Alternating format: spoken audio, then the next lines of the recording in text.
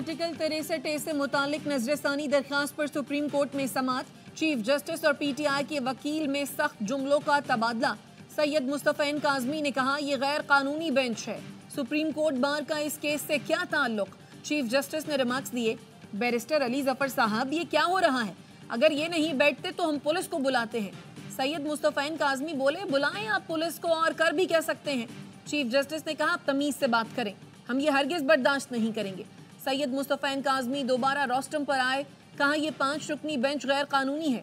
हम देखते हैं फैसला कैसे होता है। हम 300 वकील बाहर खड़े हैं। चीफ जस्टिस ने अली ज़फ़र को मुखातिब करके कहा, ये सब हमें धमका रहे हैं। सैयद मुस्तफ़ैन काजमी को कमरा अदालत से निकाल दिया गया।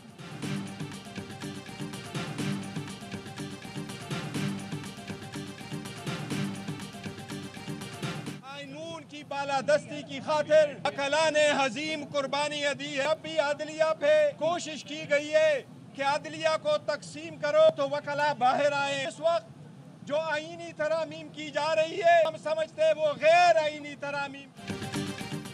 मुजवजा आइनी तरामीम के खिलाफ सुप्रीम कोर्ट के सामने वकला का एहतजाज। Chairman P T I barrister Gohar ने कहा आइन में गैर कानूनी तरामीम की जा रही हैं। अदलिया को तकसीम करने की जब भी कोशिश की गई, वकला बाहर निकले हैं। हम आइन की सरबुलंदी और आज़ाद अदलिया चाहते हैं। सलमान अकरम राजा ने कहा, अपील करता हूँ, तारीख के अहम मोड़ पर हक और सच का साथ दो। आइन में तरमीम का मकसद काला कानून और कठपुतली अदालत बनाना है। मुल्क में आइन रहेगा और ना ही कानून। लतीफ़ खोसा बोले, आइन पर शब खून मारा जा रहा है। पहले भी खून देकर अदलिया को आज़ाद कराया था, अब भी कराएँगे। मलेशिया के वज़ीर अजम अनवर इब्राहिम तीन रोज़ा दौरे पर आज इस्लामाबाद पहुँचेंगे। वजी अजम शहबाज शरीफ उनका इस्तकबाल करेंगे। मलेशियन वज़ीर अजम सदर वज़ीर अजम और army chief general Asim Munir से मुलाकातें करेंगे। मलेशिया के वज़ीर खारजा मोहम्मद हसन इस्लामाबाद पहुँच गए। एडिशनल सेक्रेटरी खारजा ने इस्तकबाल किया।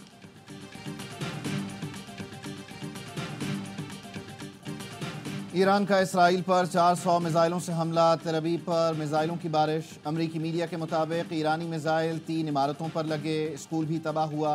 कई मिसाइल मोसाद के हेडक्वार्टर के करीब गिरे। शहरियों ने बंकर्स में पनाह ली। पासदारान इनकलाब का कहना है, पहली बार हाइपरसोनिक फतह मिसाइलों का इस्तेमाल किया गया। नबे फ़ीसद मिसाइलों ने अहदाफ को कामयाबी से निशाना बनाया। इसराइली एयरबेस एयरपोर्ट भी निशाना बने। इसराइली फौज ने 180 मिसाइल दागे जाने की तस्दीक कर दी आयरन डोम हमला मुकम्मल तौर पर रोकने में नाकाम रहा ईरान के बैलिस्टिक मिसाइल हमलों ने इसराइली वज़ीर आज़म को बंकर में छुपने पर मजबूर कर दिया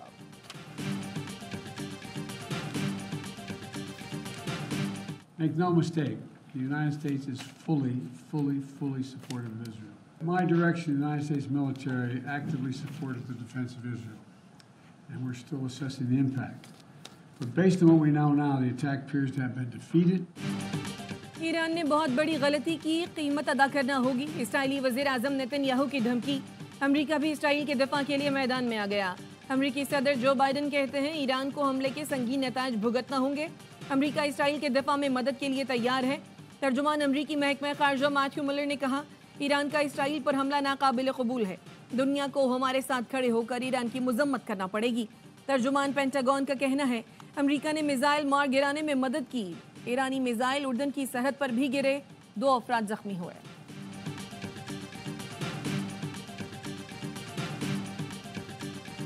नसर मिनल्लाहि व फतहुन करीब। ईरान के रहबर आला खामनाई ने ट्वीट कर दिया। इसराइल को खबरदार करते हुए लिखा, इसराइल ईरान के साथ तसादम से गुरेज करे ईरान का अगला हमला इससे कहीं ज़्यादा तकलीफ़ दे होगा। ईरान ताकत का दूसरा नाम है। हमला ईरान के मफाद में किया। नेतन्याहू को समझ जाना चाहिए, किसी भी जारहियत का मुँह तोड़ जवाब आएगा। ईरानी सदर मसूद पिजशकियान ने इसराइल को खबरदार करते हुए कहा, ईरान जंग नहीं चाहता, लेकिन जारहियत का भरपूर जवाब दिया जाएगा। पासदारान इनकलाब के तर्जुमान का कहना है, इसराइल पर हमला इस्माइल हनिया और हसन नसरुल्लाह की शहादत का बदला है। इसराइल में अहम अस्करी तनसीबात को निशाना बनाया गया।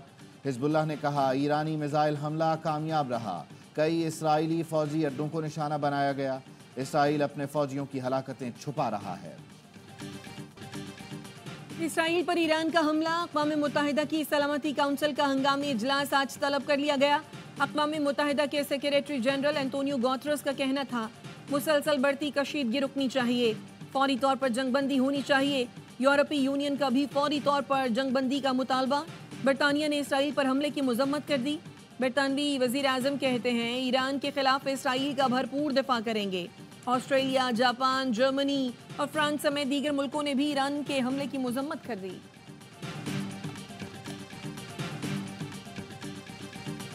तहरीक इंसाफ की मियावाली में एहतजाज की कॉल। इंतज़ामिया ने शहर को जगह जगह कंटेनर्स लगाकर सील कर दिया।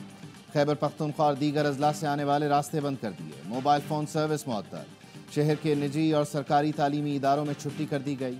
मियावाली में दफ़ा एक सौ चवालीस नाफिज। रेंजर्स की दो कंपनियाँ भी तैनात। फैसलाबाद में पी टी आई की एहतजाज की कॉल। एम फोर मोटरवे के तमाम इंटरचेंज से दाखिला बंद।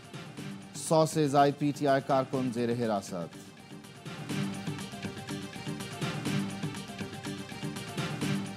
करप्शन केस में खावर मानेका और मूसा मानेका पर फर्द जुर्म आयद कर दी गई। साहिवाल की एंटी करप्शन कोर्ट ने गवाहन को तलब करते हुए समाज 16 अक्टूबर तक मुलतवी कर दी। हमारी फैमिली हम सब इमरान खान के साथ हैं और साथ रहेंगे। इतना नुकसान मौजूदा हुकूमत ने किया है, शायद ही किसी ने किया होगा। किसानों को क्या कार्ड इमरान खान ने शुरू किया वो भी खत्म कर दी। मैं और मेरी फैमिली बानी पीटीआई के साथ खड़े हैं और खड़े रहेंगे। चौधरी परवेज इलाही कहते हैं, पंजाब हुकूमत ने एक एक करके हमारे तरक्याती प्रोग्राम ख़त्म कर दिए। बिजली महँगी करके टैक्सों की भरमार कर दी गई। आवाम का जीना मुश्किल कर दिया गया। इस वक्त पंजाब में कच्चे के डाकू दंदनाते फिर रहे हैं, कोई पूछने वाला नहीं।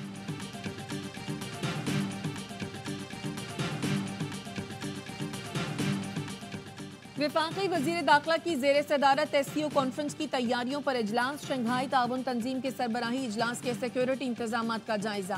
मोहसिन नकवी ने कहा एस सी ओ समिट में कई सरबराहान ममलिकत शिरकत कर रहे हैं।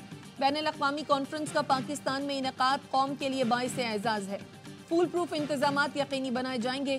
पाक फौज, रेंजर्स एफ़ सी और पंजाब पुलिस की इजाफी नफरी तैनात की जाएगी।